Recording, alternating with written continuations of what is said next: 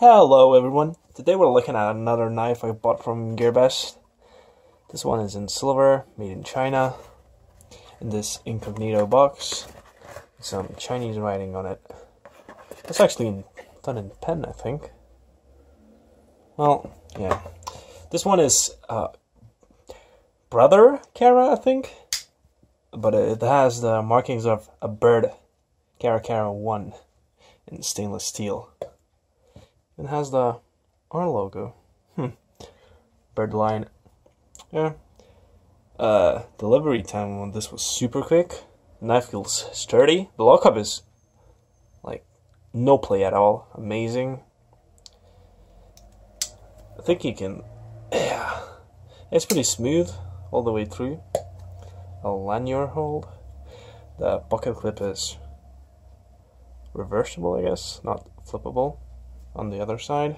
Let's see how it cuts.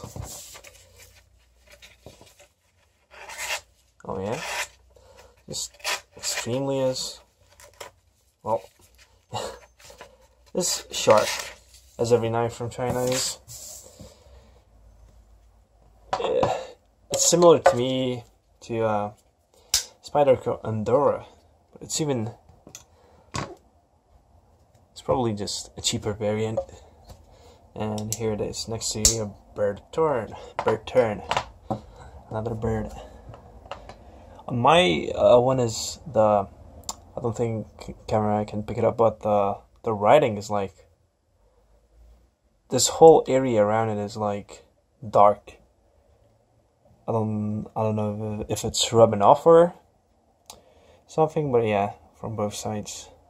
Doesn't look that well stamped. Yeah. Byrd Cara Cara or Brother Cara, I think it's just called. Good knife for a good price.